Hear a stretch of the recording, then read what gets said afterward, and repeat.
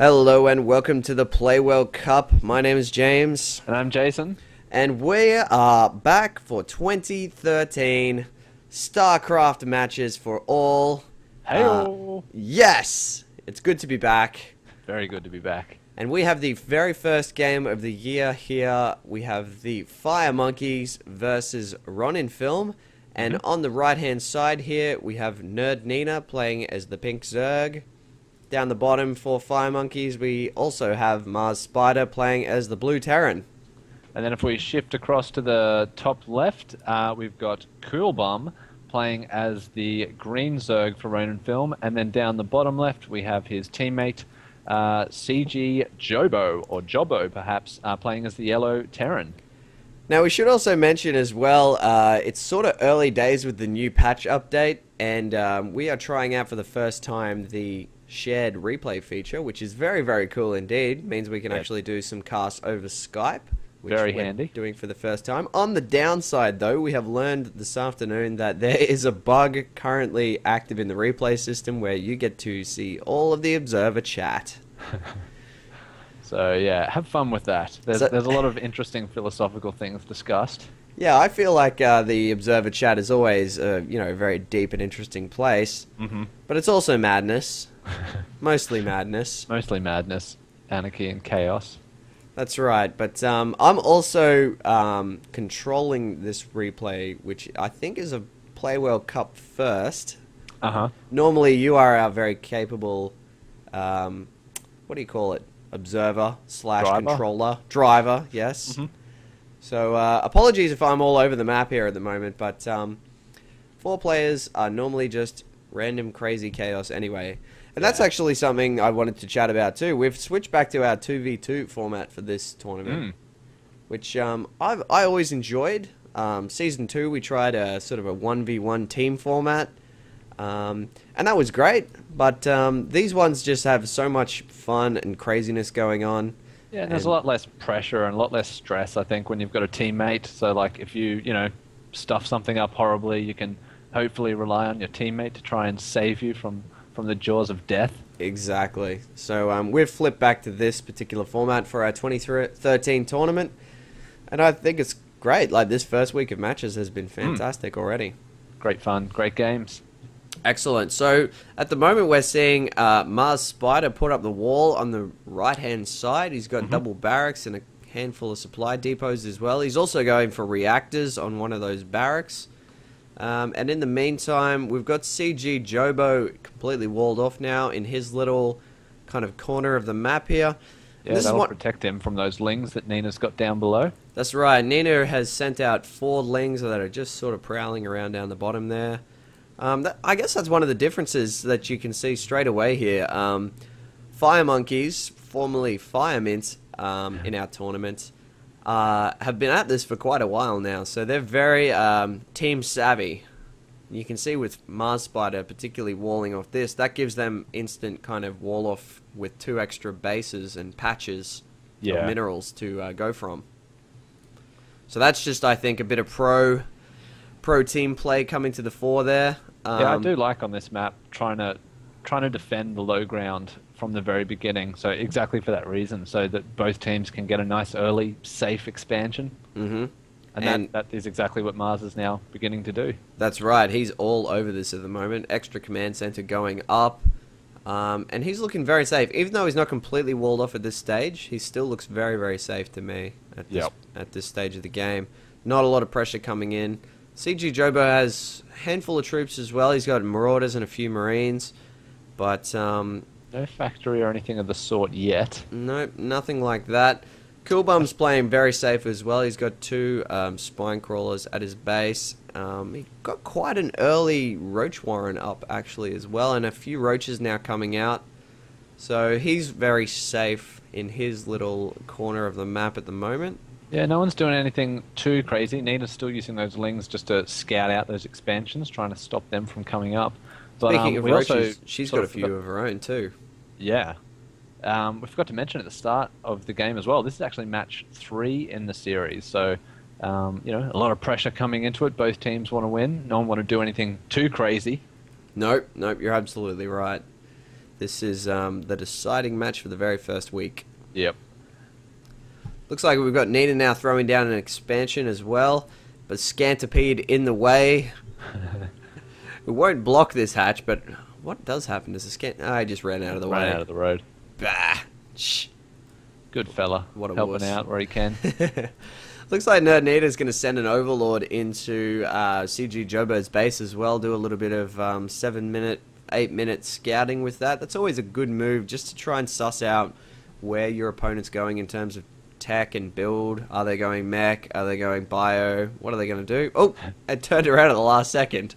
I think it saw the Marine and the SCV, so thought better run for safety. That's good enough for me. And Jobo is, I think, really scared of a uh, like a Baneling bust because he's reinforcing that wall. Yeah, he's got a lot of stuff going on up the front there. A lot of supply depots happening.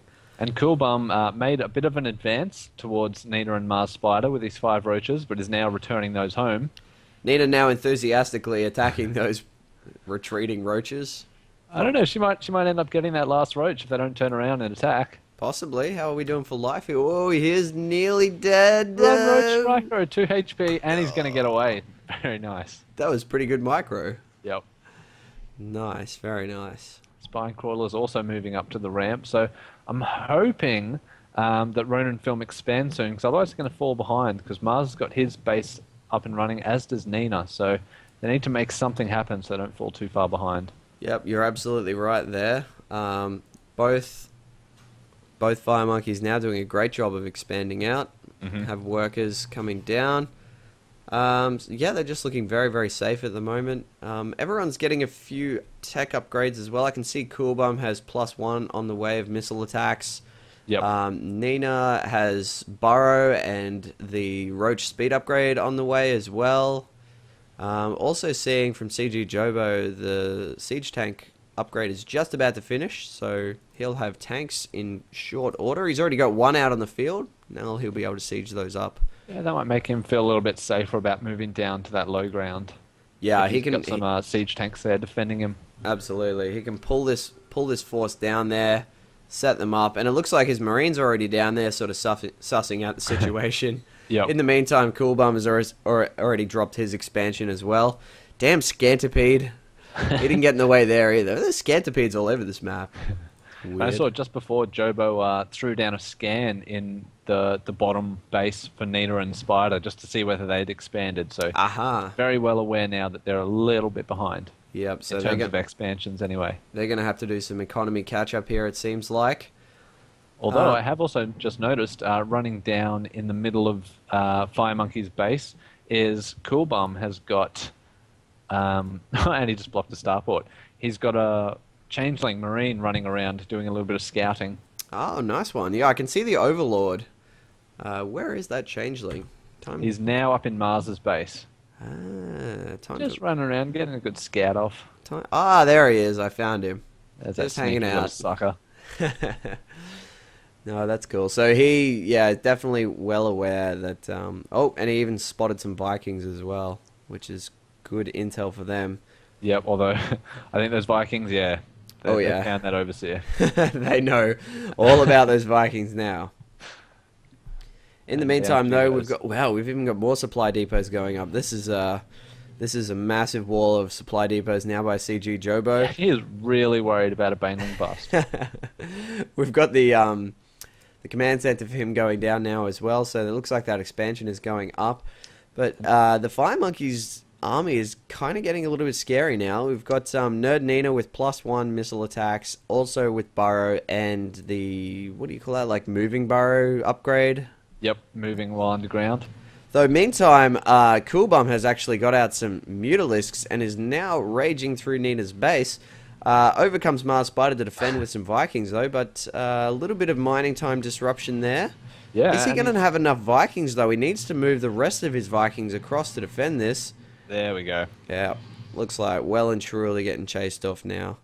And Nina responding there by dropping Spore Crawler as well. So she's got two others in her base. That'll be a total Yeah. of three. So I think she'll be pretty safe after this. Yeah, unless uh, unless Kewlbumm goes goes crazy with the muta production. He's uh, also got. Let me just do a quick little scan. He's got two Evo chambers. He's getting plus one melee attacks now. Uh, what else have we got? We got a Spire. Some roaches. Yeah, some roaches. So it looks like roach, kind of roach uh, muta from Kewlbumm.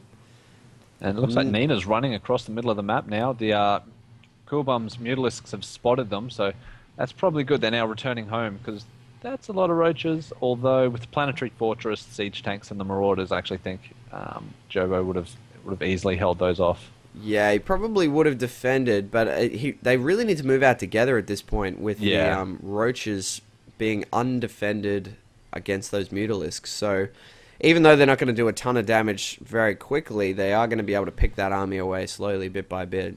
Yep.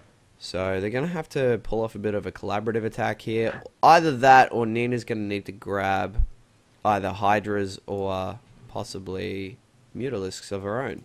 Although she does have an infestation pit out already, so maybe Infestors is the way to go here. Or are we teching up? No, okay, so we haven't got a hive yet. But maybe we're going to go straight to tier three. But something, something's happening. We've actually got Kewlbumm is just about to finish his Nidus network, so we might be seeing some backdoor play here. Couldn't help myself What? What? I had to laugh. uh, these Mutalisks are dancing around down the bottom as well, trying to find a hole in um, Mars Spider's vulnerabilities base. Mm-hmm. That- that and if they head straight sense. up, they're going to find that vulnerability. Yep. Um, although looks like Nina is going to move out again here, try and make a play down the middle. Ooh, she's gonna go sneaky style. Burrowing, yeah. No, that's actually a pretty good move. I don't think there is a lot of detection around here. I mean, there's an absolute ton of spine crawlers, but no spore crawlers that I can see. So, I I really don't think there is any detection here at all. So she will definitely be able to make a run here. Going to get the element of surprise. Although up the top right, we see Kewlbumm has also got his overseer. I'm assuming he's going to be dropping that Nidus network sometime soon, and there it Ah. There it goes. Yep. So now this this will be interesting. Although Mars Mars has still got his units back home, so Mars might be able to uh, take care of the Nidus network. Oh, it's all happening at the same time here. Mutalisks have moved into Mars Spider's base. Nina comes out and is attacking the front here, and the Nidus God. network at the same time. So there are there is just crazy stuff Three happening different battles all going over on. the place. the Mutalisks are getting cleaned up by the Vikings, I think. So that battle is going to be over. But uh, Nina's base is getting somewhat overrun with a lot of lings. Yeah, it looks like this is really where it's happening at the moment. A lot of drones dying at the moment there. She got cleaned up at the front here. She just did not have enough roaches against those marauders. She's No. now attacking this Nidus. The Nidus is down, but these lings are still doing tons and tons of damage. They are plus one on the attack. There we go. Is Mars Spider going to do this before the hive goes down? There's a lot of lings there. Is this hive going to stand? I It- think. Yeah, I think that's it's going to be safe yeah, for now. It will. It will. And Joe, I th- actually thought Jobo was going to come across the map and, and sort of start attacking from the front. And oh, maybe he is. Yeah, Had a little looks like there's a but- line of um, two, two. Oh, we've got yeah, it's a dual attack here, but it looks like he's turning around. Oh, he's turning around again. he's decided to not decide to not definitely not attack. or the opposite. One of definitely I, one I'm of not those sure what the opposite is, but it's it's one of those things. Yeah, I lost it about halfway through. Well, he And might I'm- actually do a drop here. Um, he's hanging around on this edge. Is he going to do a, like kind of a bit of elevator medevac play Oh, here? I see what you mean. Possibly. With the siege tanks, that could actually be quite an effective way to go. Or he, nope, looks like he's going to try and just draw them into the fire. And he has. That's exactly what he is doing. Now, that is a really good position for Ronin Film to be in, and a really bad one for Fire Monkeys to be in. Yeah, this angle with these siege tanks is just going to be all the difference, and they're just getting slaughtered at this Yeah. point. Not Yeah, good at all. Was a lot more even un- until they walked into that siege line. That is, that is unfortunate for the Fire Monkeys. Very much so. And now they are very short on supply as well. We've got Mars Spider 54 over 142 and Nina 56 over 116. Yep, Cloak Not Banshee's doing trying enough. to uh, to salvage some of it, but a quick scan from Jobo goes down, and, and that was the end of the Banshees. Yeah, I don't think there's really too much they can do. There's plenty of scans in hand for um, CG Jobo, so I don't think they're going to be able to do too much on a cloak detection-y type play Nah. here. Late. Oh, there's, there is a Banshee doing a little bit of damage here. They're hanging in there by the skin of their teeth. Though that misrallied Roach has gone down very quickly. and there is nothing in Nina's space to protect her from this from this incoming onslaught. She's doing what I love to do as well, which is go, oh crap, I have no defenses. Lots of spine crawlers right now, and hopefully they finish.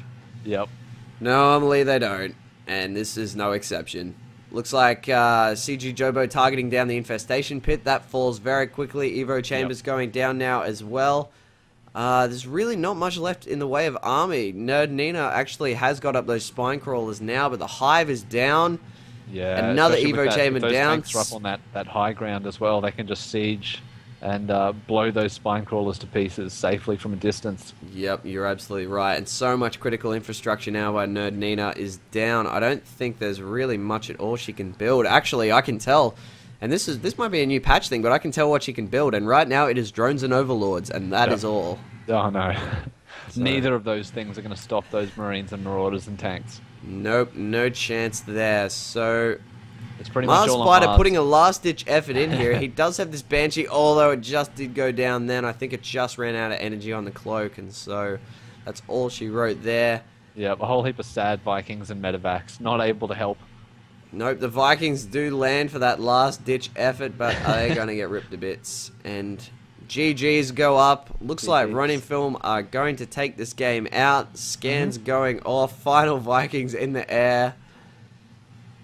Unless Looks there like- may be a twist. This might be directed by M. Night Shyamalan, and we might be seeing some sort of uh, tactical nuke go off. I don't know. I don't know. I mean, it could could be tricky. himself.